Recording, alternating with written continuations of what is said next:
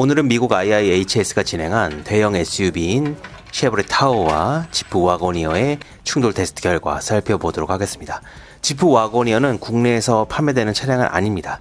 다만 오늘 영상에 되게 신기한 그림이 잡혀서 그래서 먼저 지프 웨거니어의 충돌 테스트 영상 먼저 살펴보겠습니다. 먼저 지프 웨거니어는 이번 미국 IIHS의 2024 Top Safety Pick에 선정되었습니다. 어, 쉐보레 타호는 선정되지 못했고요.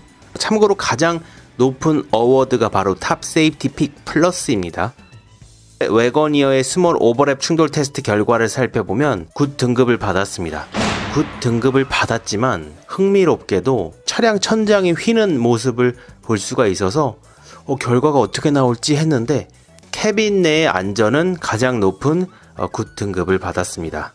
참고로 small overlap 테스트는 한 10년 전부터 진행되는 테스트라서 이제는 90% 이상의 차량이 가장 높은 등급인 good 등급을 받고 있습니다.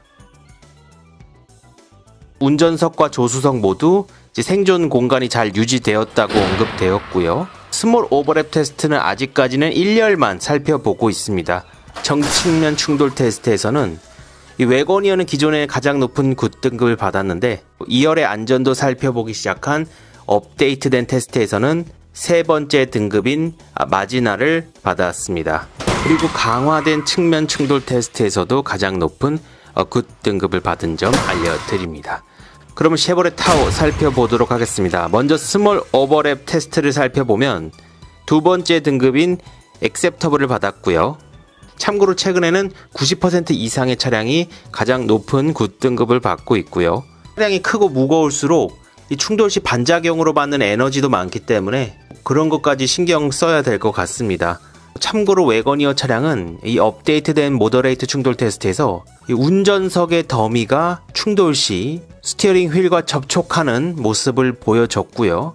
국내에서 판매되지 않아서 포드 익스페디션 영상은 보여드리지 않았는데 이 포드 익스페디션은 충돌 후 운전석의 커튼 에어백이 작동하지 않았고요. 또한 2열의 커튼 에어백도 작동되지 않았는데요. 그럼에도 포드 익스페디션은 세 번째 등급인 marginal을 받았는데 이 쉐보레 타호는 가장 낮은 등급인 poor 등급을 받았습니다.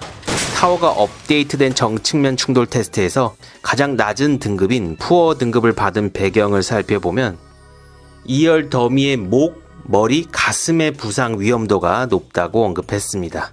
그리고 쉐보레 타호의 측면 충돌 테스트는 가장 높은 good 등급을 받았습니다.